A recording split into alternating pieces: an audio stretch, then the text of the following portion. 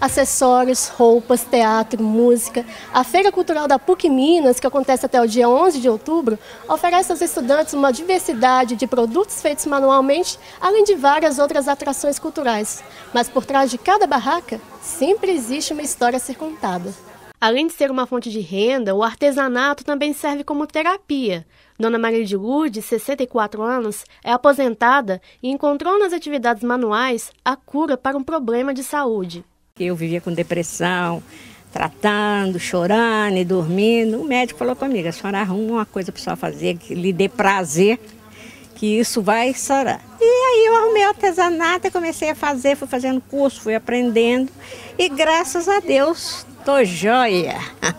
tô ótima, tô muito satisfeita e me ajuda também na renda, né?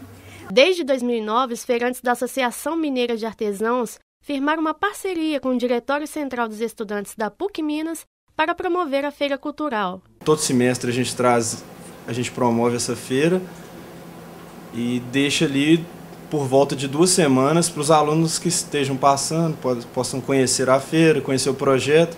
E é uma maneira de, de é, trazer um pouco de descontração para o dia a dia do, do universitário e dos funcionários em geral da PUC, né? A Associação Mineira de Artesãos atualmente conta com 25 membros, dentre eles idosos que superaram suas dificuldades através do artesanato. A gente fica satisfeita, né?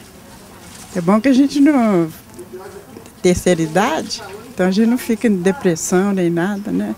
Tem uma distração também, ajuda demais.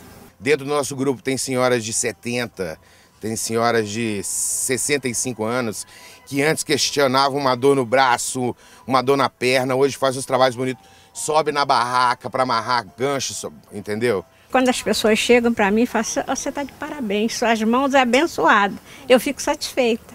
Eu acho que é uma benção para mim.